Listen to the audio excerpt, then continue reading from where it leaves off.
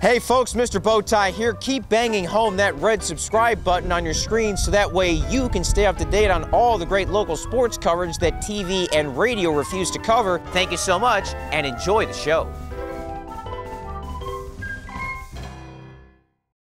5A Girls State Semifinal defending champion Frisco Liberty playing Lubbock Cooper in San Antonio, not at the Alamo Dome, but instead on the campus of St. Mary's University. The Redhawks' third straight semifinal appearance and fourth overall, while the Pirates in it for the first time out of the difficult Lubbock Amarillo area. Redhawks 3-0 lifetime in the semifinals, and they brought everybody back from last year's title team, including reigning 2020 title game MVP Jazzy Owens Barnett. Let's check out all the action from San Antonio. Hey, lots of heart.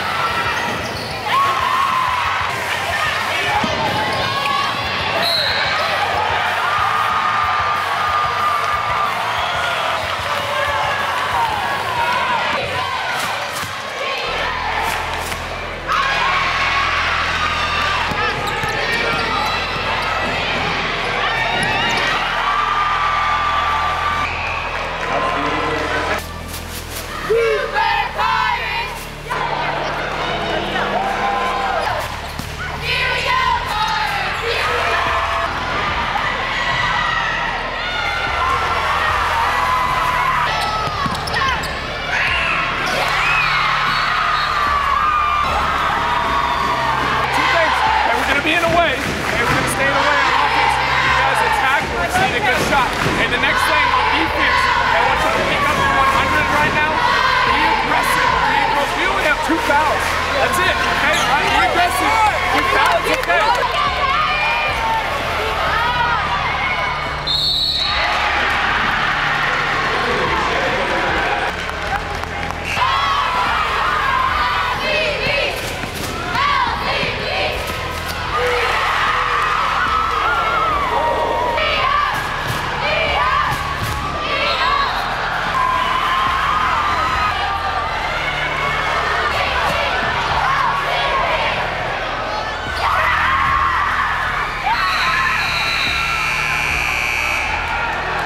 Regulation not enough to decide things on to overtime. The second straight year Frisco Liberty played in an overtime semifinal game.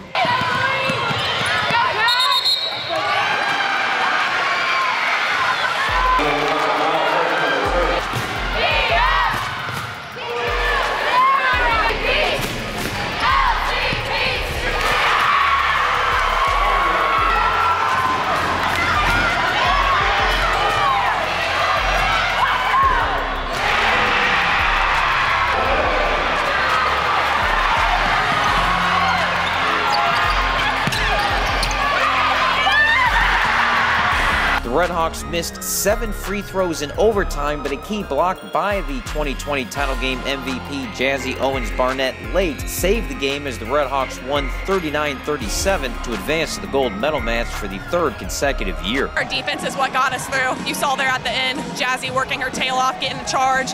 Later in the game, everyone working, rotating. I think defense for sure gets us through because offensively, definitely, you saw some missed free throws, especially from me. I know I need to hit those when we go into later, but defense is what gets us through. I Just saw the opening. Ashley kind of cleared out for me, and I saw the girl set up to take a charge, so I just euroed on her. Ball pressure, and I mean, their big did good today, but we wanted them to go to their big a lot. They're a really good shooting team, so we'd rather get points on the inside than out. We don't try to play so slow paced, honestly. I think offensively, we're just patient. If we don't like the shot, we're not going to take it, and we just know each other and are knowing who's hitting, knowing different games, situation, and we try to get it to whoever we feel in the moment we want to have it. We can change the tempo if we need to. We can play fast. We can play slow. We've got bigs. We've, we've, we've finished the game with five guards. Liberty's tough. They, they've got they've got shooters all over the court. They do a good job handling the ball, and their defense is great. A lot of times, what it comes down to is just one possession, one little small thing, you know, and us not securing that offensive rebound you know, uh, could have been it. Bella Sipowicz had 11 for the Pirates, who finished a great season at 28 and 4. 24 and 8 Redhawks advanced to face Cedar Park out of the Austin area in the gold medal match. The Wolves blew out previously undefeated Beaumont United in the other semifinal. Game time is Wednesday night at the Alamo Dome. Reporting from San Antonio, I'm Greg Sherman.